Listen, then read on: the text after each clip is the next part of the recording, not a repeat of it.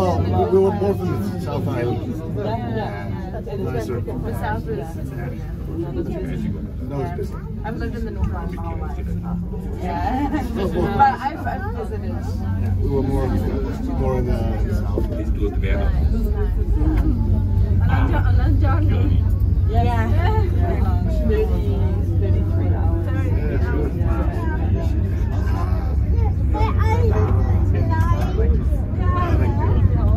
Two years. Yes. She has a.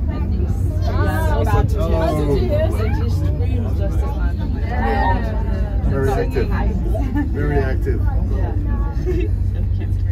Experimenting all day. Yeah. And are you from, well, it's a hot country, but like which part of Spain are you from? Oh. The island. Yeah, the island. What's it like living there? It's very touristy. Yes. Somewhere. We go away. We leave.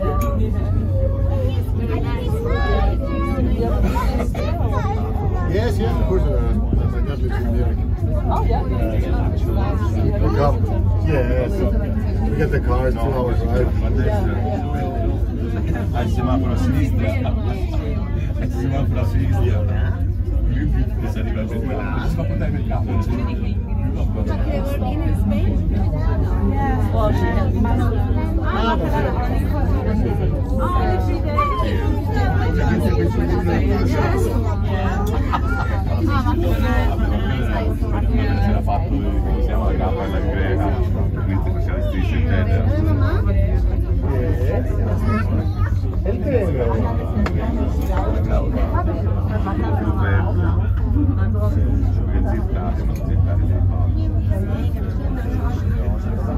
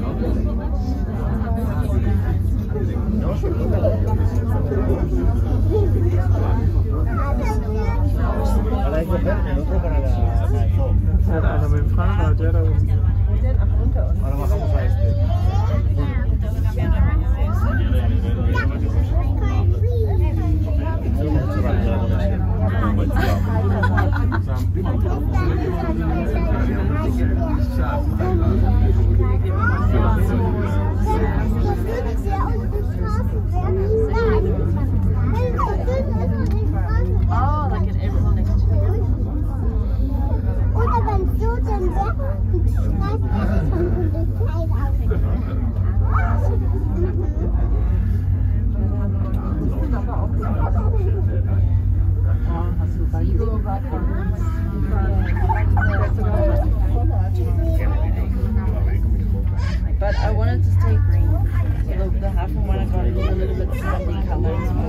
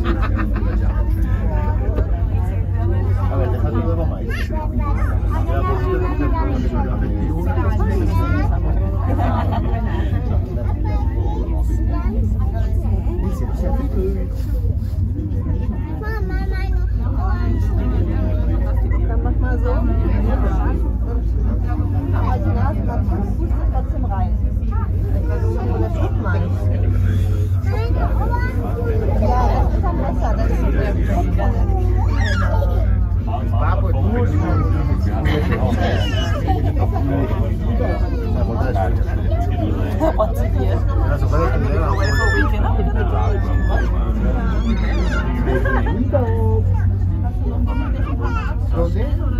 dos.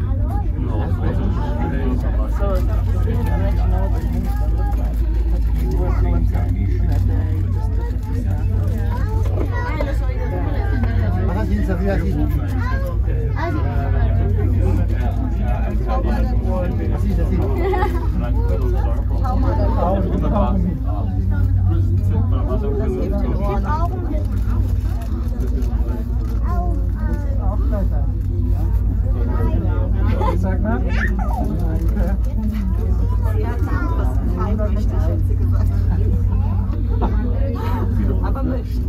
Es war es sind nicht mehr so viele, es sind nicht mehr so viele. Más.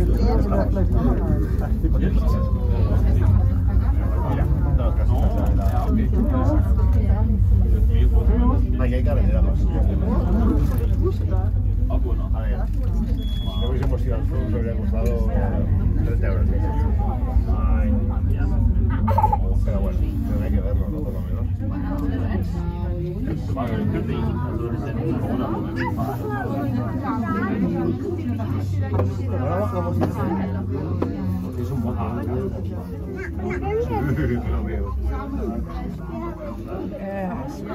mucho que me digas que no.